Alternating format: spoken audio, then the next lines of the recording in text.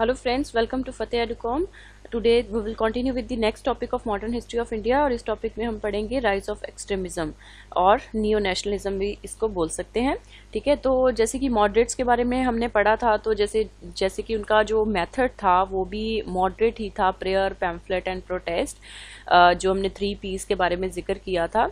और वो अपनी बातों के ज़रिए जो था, वो अपनी आवाज़, लोगों की आवाज़ को जो था, वो ब्रिटिश गवर्नमेंट तक पहुंचाते थे इन मेथड्स के ज़रिए।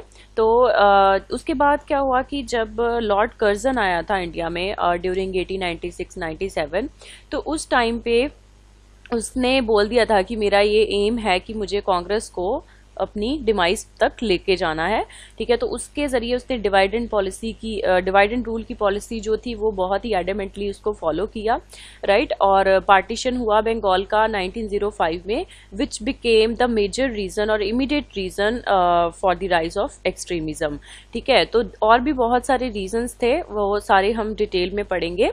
तो चलिए शुरू करते हैं। शुरू करने से पहले अगर आपने मेरे चैनल को सब्सक्राइब नहीं किया है तो please don't forget to subscribe to my channel Fateh Educom तो इससे बहुत ही ज़्यादा मोटिवेशन भी मिलता है हमें। सो द पीरियड फ्रॉम 1905 ठीक है? तो बेसिकली जब पार्टीशन हुआ था बंगाल का 1905 में तो उसी पीरियड से ही जो है वो एरा ऑफ़ एक्सट्रीमिज्म का कमेंसमेंट उसको हम मान सकते हैं। ठीक है? तो एक्सट्रीमिस्ट और the aggressive nationalist believe that ये बिलीव करते थे कि जो सक्सेस uh, है वो हमें बोल्ड मीन्स के ज़रिए ही मिल सकती है ठीक है? तो मॉडरेट पॉलिटिक्स से वो काफ़ी ज़्यादा डिसअपॉइंटेड थे और वो कहते थे कि मतलब जो मॉडरेट्स हैं वो उनका जो मेथड है वो ऐसे है कि वो भीख मांगते चले जाते हैं लेकिन रिटर्न में उनको मिलता कुछ नहीं है। तो जो इम्पोर्टेंट लीडर्स रहे हैं एक्सट्रीमिस्ट उसमें से लाल पाल बहाल तो आपको पता ही है, उसके अलावा भी काफ़ी सारे जैसे अश्विनी कुमार दत्त थे अरबिंदो घोष थे राइट तो फ़र्स्ट सिस्टमेटिक क्रिटिक जो था मॉडरेट पॉलिटिक्स का, कि इनका मेथड जो है वो मतलब सही नहीं है, उसके ज़रिए हम सक्सेस अचीव नहीं कर सकते हैं, ठीक है? तो वो एक सीरीज़ ऑफ़ आर्टिकल्स में छपा था, जिस, जिसको कि लिखा था अरबिंदो घोष ने by the name news new lamp for old very very important to remember ठीक है? काफ़ी बार काफ़ी एग्ज़ाम्स में पूछ लेते हैं। तो it was return by Aurobindo Ghosh in which जिसमें उन्होंने बोला कि जो कांग्रेस की पटिशन्स हैं लेजिस्लेटिव काउंसिल में जो अपनी पटिशन्स डालते हैं, अपनी रिक्वेस्ट डालते हैं, वो तो मतलब एक पानी के बुलबुले के साथ जैसा हम खेलते हैं तो वो उसके समान है। ठीक है? तो इसके साथ साथ उन्होंने एक और बुक लिखी थी, भवानी मंदिर। जिसमें उन्होंने जो इंडिया था, मदर इंडिया को गॉडेस भवानी के साथ कंपेयर किया था, ठीक है? तो इनका जो मेन मोटिव था, वो था किसी भी तरीके से लोगों को अपने साथ जोड़ना और उनको किसी भी तरीके से अगर वो रिलीजन से ज़्यादा इन्फ्लुएंस्ड होते हैं तो रिलीजन को यूज़ करके लोगों तक अपनी बातों को पहुंचाना। तो अनदर एक्सट्रीमिस्ट लीडर्स जो अश्विनी कुमार दत्त हैं वो कहते हैं कांग्रेस जो है थ्री डे तमाशा है। थ्री डे तमाशा का इस, इसलिए ये कहते हैं कि जो जो कांग्रेस थी वो साल में सिर्फ़ एक ही बार मिलती थी अट्ठाईस उनतीस और तीस दिसंबर को। ठीक है? तो ये कहते हैं कि मतलब तीन दिन में मिलके साल में ये कर ही क्या लेंगे? कुछ भी नहीं कर सकते हैं। ठीक है? तो इसलिए इन्होंने इसको थ्री डे तमाशा बोला है।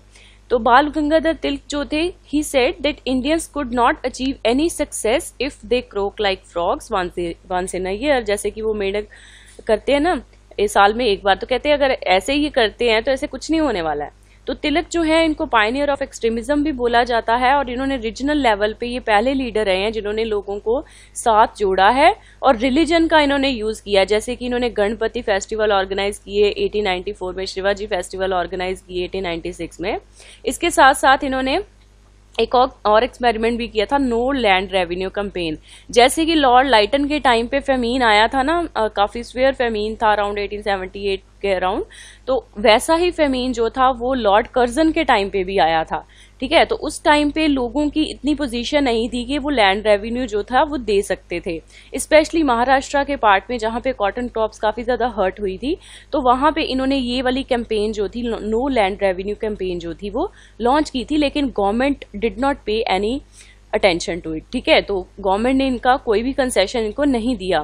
Then the first trial of use of boycott use of boycott का भी बाइकॉट मेथड जो है, वो भी पहली बार जो था, बाल गंगाधर तिलक ने ही यूज़ किया था against the increase in excise duty on cotton textile उसके बाद ही also criticise and oppose the age of consent bill ये इसमें क्या था, ये एज ऑफ़ कंसेंट बिल में कि जो मैरिज एज थी, उसको एनहांस कर दिया गया था। ऑल दो कि ये एक बहुत ही अच्छी चीज़ थी बट उस टाइम पे बिकॉज़ इनके रिचुअल्स के अगेंस्ट था तो उसकी वजह से इन्होंने उसको भी अपोज किया।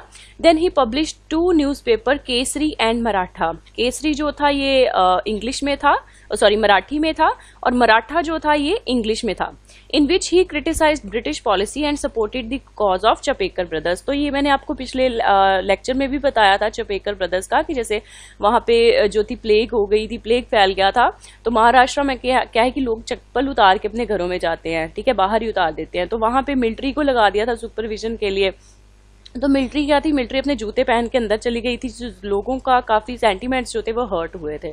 तो उसके चलते जो कमिश्नर अपॉइंट किया गया था प्लेग कमिश्नर रैंड और उसका एक और ऑफिशियल था ईएस e जिसको कि ये चपेकर ब्रदर्स ने मार दिया था, ठीक है? तो बाल गंगाधर तिलक जो थे, इन्होंने उस चीज़ को सपोर्ट किया था इसमें राइट देन उसके बाद पढ़ते हैं इसके causes causes for the rise of extremism the failure of moderates to win any notable success other than the expansion of legislative council जैसे कि हमने पढ़ा था इंडियन काउंसिल एक्ट 1892 में कि जो नंबर ऑफ़ uh, uh, मतलब मेंबर्स थे इंडियन मेंबर्स उनका नंबर जो था वो इंक्रीज कर दिया गया था लेजिस्लेटिव काउंसिल में इस एक्ट के ज़रिए ठीक है? तो इसके अलावा इनको खास कोई भी फ़ायदा नहीं हुआ था उस एक्ट के ज़रिए।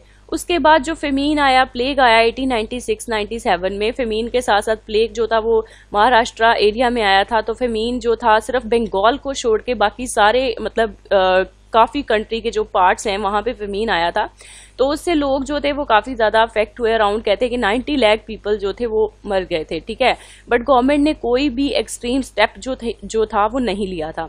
तो इस एटीट्यूड के चलते लोगों की सेंटीमेंट्स जो थी वो काफ़ी हर्ट हुई राइट तो जो मतलब प्लेग हुआ था बॉम्बे में प्रे, बॉम्बे प्रेसिडेंसी में तो वहाँ पे भी जो लोगों के सेंटीमेंट्स हर्ट हुए हैं तो जो सारी कहानी मैंने पीछे आपको बताई है चाबेकर ब्रदर्स वाली वो यही लिखी हुई है। तो उसके चलते ये जो मर्डर्स किए गए थे जो रैंड था प्लेग कमिश्नर और जो उसका ऑफिशियल था ईएस्ट ये मर्डर को माना जाता है कि ये फ़र्स्ट आउटब्रेक था वॉयलेंट रेवोल्यूशनरी एक्टिविटीज़ का। Right right. देन उसके बाद जो इसी के चलते मतलब लोगों को लैंड रेवेन्यू देना पड़ा।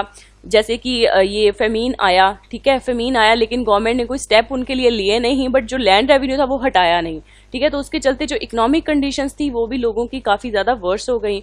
देन उसके साथ साथ जो इंडियंस थे, बाहरली कंट्रीज़ में काम कर रहे थे स्पेशली जो साउथ अफ्रीका में थे, उनके साथ भी ट्रीटमेंट बहुत बद्दा हो रहा था उस टाइम पे, ठीक है? तो गांधी जी भी इसका शिकार हुए थे राइट तो ब्लैक एंड वाइट का जो जो भी डिस्क्रिमिनेशन होता है वहाँ पे ठीक है? तो उसके चलते भी लोग जो थे अफेयर हुए उस चीज़ से। उसके बाद रशियो जैपनीज वार हुई थी 1905 में, उसी टाइम के दौरान, जिसमें जो जापान था, उसने यूरोपियन पावर रशिया को हराया था। जब यूरोपियन पावर रशिया को हराया तो जो नेशनल यूथ था हमारा तो उसको ये रियलाइज़ हो गया कि अगर मतलब जापान जो है, वो रशिया एक जो बिगेस्ट उस टाइम पे एक मतलब तब भी एक बिगेस्ट पावर थी। अगर उसको हरा सकता है तो हम भी एक यूरोपियन पावर जो ब्रिटेन है, उसको हरा सकते हैं, कोई ऐसी बड़ी बात नहीं है। तो उसी टाइम के दौरान जो इटली था, ये भी एक यूरोपियन पावर था, ठीक है? तो उसको अबिस्निया जो आज हम जिसको यूथोपिया बोलते हैं, ठीक है? तो उसने हराया था 1896 में। तो ये सारी जो चीज़ें थी इनके दिमाग में घर घर गई कि अगर ये हरा सकते हैं यूरोपियन पावर्स को तो हम क्यों नहीं? ठीक है? तो another factor was the exclusion of educated Indians बाकी जो पब्लिक सर्विसेज़ थी, ठीक है? जैसे लाइटन की भी पॉलिसीज़ थी कि जो इंडियंस हैं, उनको लो लेवल पे ही रखना है सिविल सर्विसेज़ में उनको जगह नहीं देनी है या हायर पोस्ट पे जगह नहीं देनी है, ठीक है? तो उस चीज़ के चलते भी लोगों के बीच में जो था वो गुस्सा था रिजेंटमेंट थी। उसके साथ साथ लॉर्ड कर्जन कहता है the highest ranks of civil employment must be a general rule as held by Englishman ठीक है? तो इस चीज़ के चलते लोगों का जो खून था वो खोला और लोगों ने वायलेंट मीन्स को जो था वो प्रेफर किया कि इसके ज़रिए ही हम जो है इनके ऊपर जीत पा सकते हैं। देन द इमीडिएट कॉज जो था, वो था राइज ऑफ़ एक्सट्रीमिज्म का reactionary rule of Lord Lytton जैसे कि हमने सॉरी लॉर्ड कर्जन जैसे लॉर्ड लाइटन की पॉलिसीज़ को हमने पढ़ा था, उसकी भी पॉलिसीज़ रेक्शनरी थी. ऐसी ही पॉलिसीज़ कुछ लॉर्ड कर्जन की थी जिससे, जिसके मतलब इसकी पॉलिसीज़ को बोला जाता है his mission commission and omissions ठीक है? तो ये चीज़ों ने मतलब जो एक्सट्रीमिस्ट मूवमेंट थी, उसको एक्सेलरेट किया। जैसे सबसे पहला इसने जो काम किया, वो था कैलकटा कॉपरेशन एक्ट 1899 का, जो था इसने पास किया। इसमें क्या हो गया कि जो इंडियन कंट्रोल था लोकल बॉडीज में लोकल लेवल्स पे वो काफ़ी कम होगा। हो गया। हुआ क्या था? बेसिकली कि जो कैलकटा कॉपरेशन बनाई गई थी, वो बनाई गई थी लॉर्ड राइपन वहाँ पे जो जब लॉर्ड राइपन का टाइम आया था लॉर्ड राइपन की हमने पॉलिसीज़ पढ़ी हैं, उसकी पॉलिसीज़ काफ़ी प्रोग्रेसिव थी राइट तो बेसिकली uh, uh, उसने जो कैलकटा कॉपरेशन बनाई थी तो उसमें इंडियंस बहुत ही ज़्यादा मेजोरिटी में थे राइट right? तो लॉर्ड कर्जन के आने से पहले वो कॉपरेशन जो थी वो मेजरली मतलब मेजोरली वो इंडियंस ही उसको लीड करते थे। तो इससे जो कैलकटा था कैलकटा में बिजनेसमैन बहुत ज़्यादा थे तो उनका जो इंटरेस्ट था वो इससे हर्ट होता था। तो इसने उनके इंटरेस्ट के लिए कर्जन ने इस एक्ट को पास किया और उसमें जो नंबर ऑफ़ इंडियंस थे वो ड्रास्टिकली उसका उनका नंबर जो था वो रिड्यूस किया। राइट तो एक तरह से एक मतलब एक्सटेंडेड आर्म बन के रह गई ये ब्रिटिश गवर्नमेंट की बट जो लॉर्ड राइपर ने सोचा था कि लोकल लेवल्स पे इंडियंस जो हैं, उनका कंट्रोल ज़्यादा से ज़्यादा रहे, है ना? वो चीज़ को इसने रिवर्स कर दिया कि एक तरह की ये भी गवर्नमेंट की ही बॉडी जो थी वो बन गई। तो इससे उनके जो लोग थे, उनके सेंटिमेंट्स हर्ट हुए। देन उसके बाद यूनिवर्सिटी एक्ट आया 1905 में। जिसमें यूनिवर्सिटी बॉडीज में जो इलेक्टेड मेंबर्स थे, उनका नंबर भी रिड्यूस कर दिया गया। अब जो यूनिवर्सिटी एक्ट आया इससे पहले, अब लॉर्ड कर्जन से पहले यूनिवर्सिटीज का क्या रोल है कि वहाँ पे सिर्फ़ एडमिनिस्ट्रेटिव काम होता था, कोई मतलब वहाँ पे लर्निंग सेंटर नहीं थे, ठीक है? तो यहाँ पे क्या हो गया कि यूनिवर्सिटीज एक्ट के आने के बाद जो लर्निंग सेंटर है, वो भी यूनिवर्सिटीज बन जाएँगी साथ साथ एडमिनिस्ट्रेशन का काम तो वहाँ पर होगा ही राइट तो लेकिन यहाँ पे इन्होंने क्या किया कि जितने भी एंटी गवर्नमेंट इंस्टीट्यूशंस थे, उनका एफिलिएशन जो था, वो यूनिवर्सिटीज को दे दिया गया कि अगर कोई एंटी गवर्नमेंट कॉलेज है तो उसको आप एफिलिएशन नहीं दोगे। ठीक है? उसके साथ साथ इन्होंने जो कॉलेज फ़ीस थी, वो भी फिक्स कर दी, जो कि चार्ल्स वुड डिस्पैच का जो भी रिकमेंडेशंस थी, उससे बिल्कुल उल्टा था। ठीक है? क्योंकि चार्ल्स वुड डिस्पैच जो था, उसका मेन ऑब्जेक्टिव था कि मास एजुकेशन जो है वो प्रोवाइड करना इंडियंस को। ठीक है? तो उसके चलते फ़ीस इसमें जो थी वो उसमें कम थी तो इसमें फिक्स कर दी गई। तो ये भी चीज़ जो थी लोगों को हर्ट की। इसके साथ साथ it reduce the autonomy of universities and made them government departments उसके साथ साथ एक सेडिशन एक्ट और ऑफिशियल सीक्रेट्स एक्ट जो था ठीक है, कहीं पे भी लोग, लोगों की तलाशी जो है वो ली जा सकती है, किसी के घर में भी घुस के जो है वो ली जा सकती है तो ये इससे लोगों की फ्रीडम जो थी उसको इम्पेक्ट हुआ। Then his worst measure was partition of Bengal तो पार्टीशन ऑफ़ बंगाल बेसिकली जो था इसका डिवाइड एंड रूल पॉलिसी का ही एक कह सकते पॉलिसी थी इसकी। ठीक है कम्युनल ग्राउंड्स पे जो था इसने पार्टीशन करवाया था बंगाल का। तो इसको हम डिटेल में पढ़ेंगे अपने नेक्स्ट लेक्चर में, जिसमें हम partition of Bengal and Lord Curzon के बारे में, उसकी पॉलिसीज़ के बारे में ही पढ़ेंगे। So the main objective of extremist was to attain swaraj अब इनका जो मेन ऑब्जेक्टिव रहेगा वो रहेगा स्वराज अटेन करना और complete independence and not just self government ठीक है? तो जो मेथड्स इन्होंने फॉलो uh, किए थे तो इनका जो मतलब ब्रिटिश uh, में इतना ज़्यादा फेथ है नहीं था।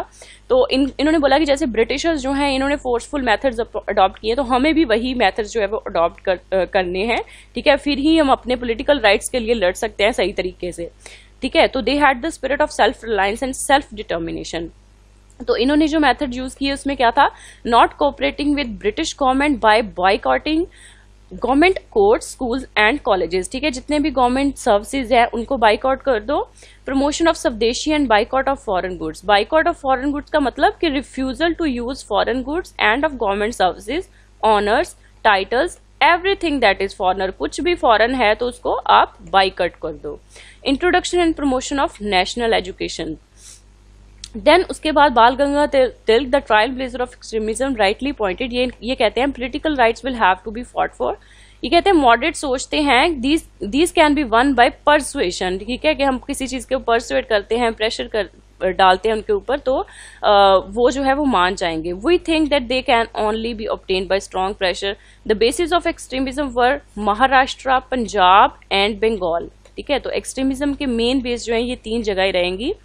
Till priest protest are of no avail. Mere protest not backed by self-reliance will not help the people. Days of protest and prayers have gone. तो ये moderates के जो methods हैं, उनको ये अपोज करते हैं देन अश्विनी कुमार दत्त जो है, इन्होंने मेनली सोशल वर्क किया, लोगों की भलाई की है ज़्यादा से ज़्यादा ताकि लोगों के साथ ये जुड़ सके और उनको अवेयर करा सके देन प्रफुल्ल कुमार जो थे, इन्होंने एक स्वदेशी बंगाली केमिकल कंपनी लॉन्च की थी देन लाला हर कृष्ण लाल सॉरी यहाँ पे हर कृष्ण आना है लाला हर कृष्ण लाल जो थे, इन्होंने पंजाब नेशनल बैंक जो था, वो ओपन किया। देन लाला लाजपत राय जो थे, इन्होंने लोकल इंडस्ट्रियल डेवलपमेंट के ऊपर जो था, वो एम्फेसाइज किया, जिसको इन्होंने अपने आर्टिकल्स में पब्लिश किया इन हिज पेपर पंजाबी, ठीक है, जो कि इंग्लिश में था। Then Tilak was the first to give the slogan swaraj swadeshi and boycott तो ये लिखते हैं केसरी। केसरी जो है, ये इन्होंने मराठी लैंग्वेज में लिखा था। इसमें लिखते हैं कि our nation is a big tree of which original trunk जो इसकी है, वो स्वराज है और स्वदेशी और बाइकआउट जो है, वो इसकी ब्रांचेस हैं। उसके साथ साथ काफ़ी नेशनल एजुकेशन के ऊपर एम्फेसाइज किया गया था, जहाँ पे लोगों को अवेयर करवाया और उसके साथ जब पार्टीशन हुआ बंगाल का तो लोगों को एक, लोगों के गुस्से को एक चिंगारी का काम दिया इसने, ठीक है? तो which ultimately resulted into first mass based movement in India, जिसको कि स्वदेशी मूवमेंट के नाम से जाना जाता है, जिसको हम डिटेल में पढ़ेंगे, ठीक है? So that's all thank you I hope that video will definitely benefit you and please subscribe if you like and share as much as possible thanks for watching